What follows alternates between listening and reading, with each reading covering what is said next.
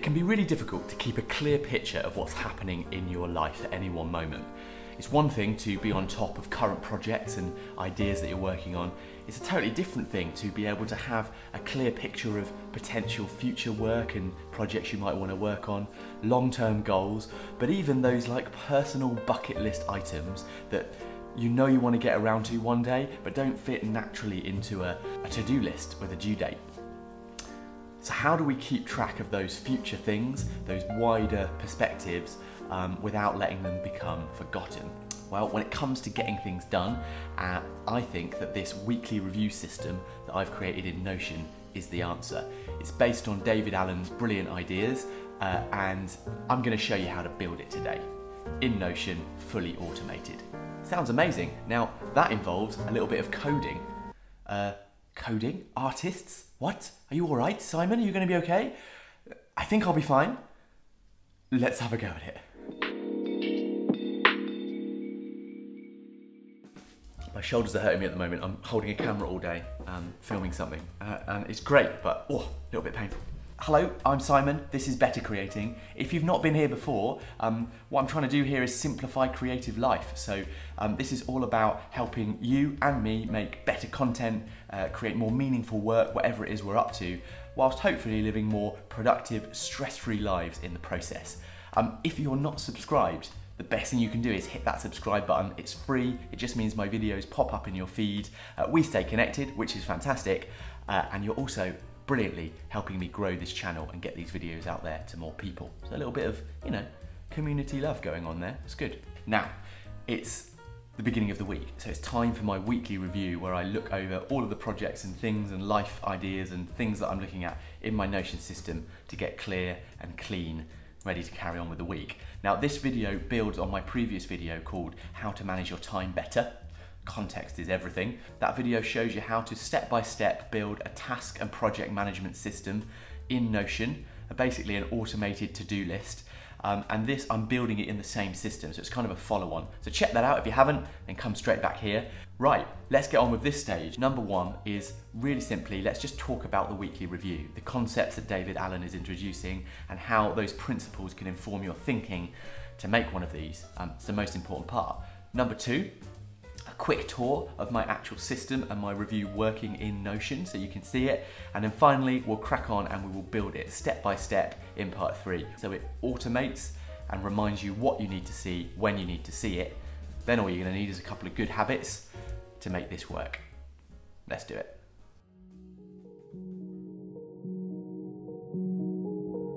It's probably true that most of us feel best about our work in the week before we go on holiday. Now why is that? Well, I think it's because we clean up, close up, and make sure that we can leave our work sitting in a place that allows us to go away and truly switch off, relax, and be present in our downtime. wouldn't it be great if we could attain the same clarity and calmness that we have on that first day of holiday, or at least I hope we do, that's what we aim for, every single week? Well, that's what getting things done puts to us, so that, as Allen suggests, you can bring this kind of being present to your everyday life. The weekly review is the, is the time that I take to get clear and focused on the wider picture of my life. It's the thing that David Allen says is the time to gather and process all your stuff, um, review your system, update your lists, get clean, clear, current and complete, quite hard to say, um, on everything that's going on. Now, if that's not simplifying creativity and productivity, I don't know what is. Thanks, David Allen. So the reason we do it is simply, if you review your system and your thoughts regularly, it stops your mind from going back to taking responsibility for remembering and looking after um, the big picture. And if you don't do that, if you don't build that second brain, uh, I find that I trust and a system that helps you, it means that we're constantly doing that and not allowing ourselves the space to have ideas, to take action. Rather, we're trying to juggle all the different concerns, and our minds just aren't built to do that. Right, let's take a look at my dashboard um, and how the weekly review sits into it. Here's my main home screen, the one I use every day. Um, you'll see on the dashboard at the bottom we have needs review. It's an image of the project list and you'll see it has a last review when it was last reviewed and next review when it's due. So I last looked at these on the date that I put in when I did it, which is the 5th of October or September the 28th, so you can set that. Next review is when it's due, and you'll see Monday the 12th of October, it's due this week. Above, you'll see all my task lists that we build in the other system. So um, again, tasks that are due filtered to the next seven days, due today or overdue, flag priorities, and an inbox for putting my tasks in.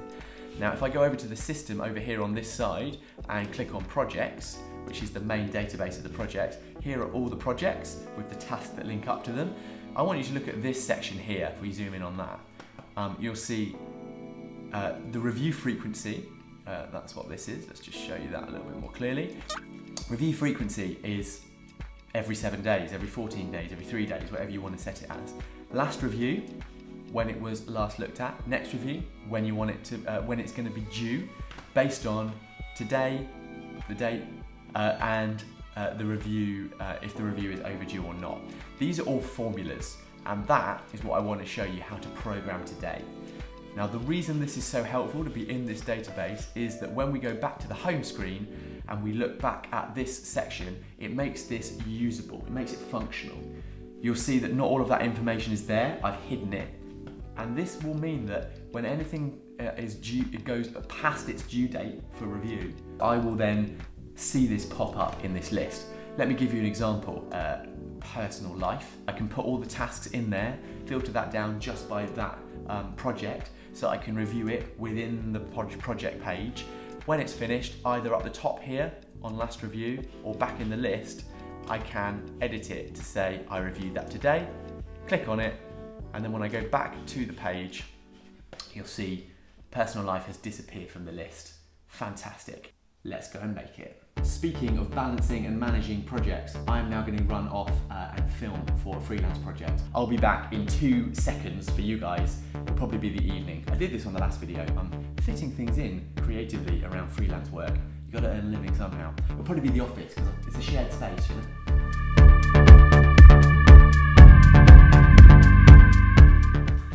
Okay, I'm back uh, from rehearsals uh, and filming. I've set up uh, the lighting, bit of moodiness this evening in the office. Uh, let's get on and build this system. So here is my personal home uh, that we built in the previous video. So you can check all of that out if you want to do that um, in the other video. Let's go into it. So what we're gonna do to start with to build uh, this system is I'm just gonna, in the dashboard down here, set up where I want it to appear. So I'm going to click here, I'm going to do forward slash heading 2 gives you the option basically, it's a shortcut.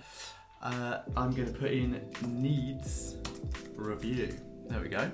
That is the next thing. We're going to click on this little thing. And again, it's all about how it looks. For me, it makes a big difference. I'm going to give it a nice purple colour. There we go, there's that section. That is where we're going to put a copy of the projects list. Um, and in fact, uh, why don't we do that first of all so we know that it's going to link to it. So this is my projects list over here in the system. Uh, so I'm going to do forward slash create linked database. It's always a brilliant button to use. Uh, we'll click on that. Uh, we're going to find the project database. You can search for it. Project list, there it is. Click on it and it will turn up.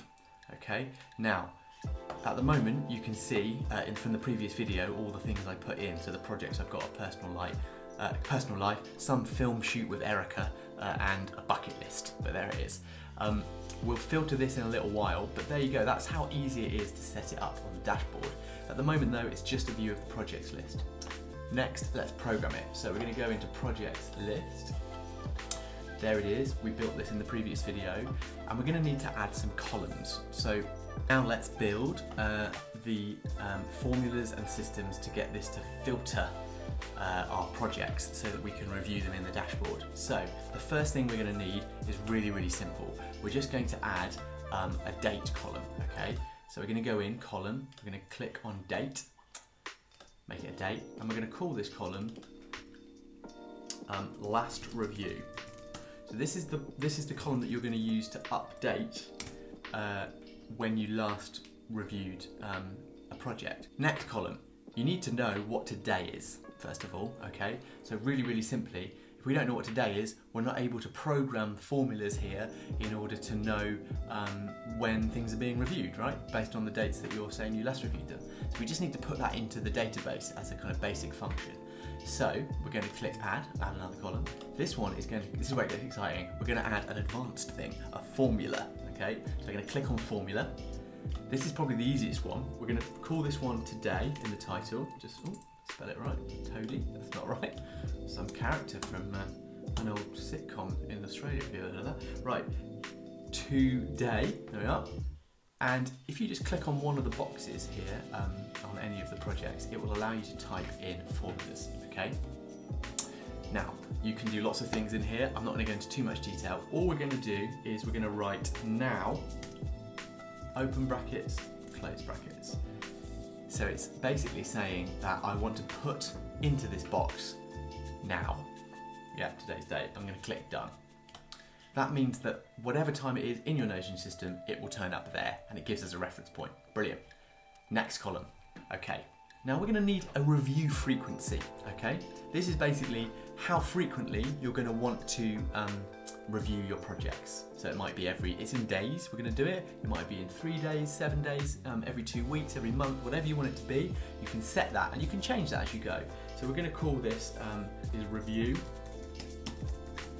frequency. And this is just going to be a number file. It's really simple. So we're just going to go in, click number. Now, for example, my personal life, I might say I want to review that every week, every seven days. Shoot with Erica is happening a lot at the moment, for example. It's not a real thing, but I'm pretending. Uh, I'm going to say that's every three days. And my bucket list, uh, that's a much wider thing, right? And I just want to kind of every now and then check in with that. So I might do that, let's say, every 20 days. In here, I'm going to put my last review. Let's say that um, I last reviewed on the 5th. Yeah, I'm going to put this one in here and we're going to say that was also the 5th. Next, this is where it gets really good. We're going to add another um, column and this column is going to be called um, next review. You're going to make it a formula and this is where it gets quite advanced. Now, I'm not gonna go into loads of detail on code because to be honest with you, I don't know loads about it. But what I can say is how this one works. So let me talk you through it. So what we're gonna do is we're gonna do um, a date add. So you're gonna put date, and there it is, date add. We're gonna click on it. Date add, you have to have a date, a number, and some text. And that's gonna be how this sits together. Um, we wanna put a number, so we're gonna put, first of all, the last review, comma, uh, then we're going to put the review frequency, uh, and then we're going to put in dates. Close the brackets. Oh, we missed a comma, didn't we? There you go. Put the comma in, and and you'll see how interesting. Seven days after the fifth is the twelfth. Three days after the fifth is the eighth. Uh, 20 days after the 28th of September is the 18th of October. It works. How brilliant. Finally, we want a way to filter this. And the last thing we want to put in is one more column, and in that column we want to place a checklist, okay? But it's going to be a checklist done by formula. Feels a bit unusual. So we're going to click onto here, another formula, okay, into here. Uh, this one is review overdue. So I want this one to tell me if um, review is overdue, um, and therefore all of those will be ticked, and it will mean that they'll appear in uh, the filtered dashboard when we do it. So the formula for that is very, very simple. Uh, basically, I want it to be that the reviewer is greater than today. We're going to do a proposition, okay? Uh, and the proposition is going to be next review, and we're going to do a greater than sign. It's smaller than, sorry, um, the proposition of today. Okay, done. We have a checklist. Rather cool. Two of them have been checked because uh, these are overdue, yeah? It's, it's past review frequency. This one is fine. Let's go back to personal home. But I think you'll see they're all there. They are all there. So we need to filter this. And this is really simple. We go to review overdue. Going to click on it. We may have done this before. We're going to add a filter and where we're going to do where review is um, ticked, yeah? And set that as our filter. And now you'll see that when it's overdue, it shows up. Now, that's it. It's a little bit messy at the moment, so I want to filter this down to make it look better and just work out what information I actually need. So I can click on the little um, dots here, go to properties and just hide anything we don't need. So last review and next review are useful to have. I don't really need to see files. I don't need to see how it's related to the bibliography of inspiration. This is all stuff we did in the previous video. I don't need to see um, related to the task list. Don't need to see review frequency really because I'm setting that in there, but you could have it review overdue. I don't need to see it it just needs to work, and I don't need to see today because it just needs to work. There we go. So, look at that, much cleaner, much easier to see. And that's how it works. So all I should really now need to do is click onto um, personal life, yeah, and do the reviewing. Click on last review. If I set the um, that I reviewed it on Monday, it disappears.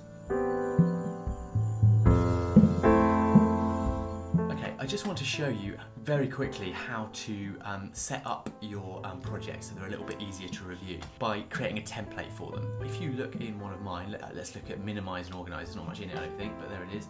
Uh, now, yeah, you can see this is a template. It's pretty simple, uh, but it has a description, minimizing organizing my stuff. Um, it has the current tasks, and you'll see this is a, um, a mirror of the original task database, um, and some notes. As simple as that. And I just created this template, yeah, uh, simply by uh, going to New, clicking the little button, and you can click New Template. Okay, but you'll see my new task thing. Let's just go back out and I'll show you what it actually looks like when it's done. You'll see it's set up as a template with the task, the description and everything. So every time I do this, I have this set up ready to work. Um, now you'll notice this is the cool bit that's in the template, and this is really simple. It is, um, I'll just do it again in here for you so you can see what it is. It, you do forward slash create link database, and you're going to filter um, the related project, add a filter,